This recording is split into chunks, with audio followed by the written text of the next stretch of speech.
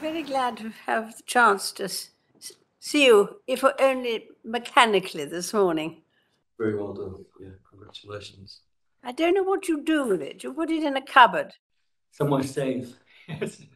This evening I shall show it the children and the grandchildren who are waiting in our house. All right. Well, that'll be nice. Well, it is. It's rather a nice medal, isn't it?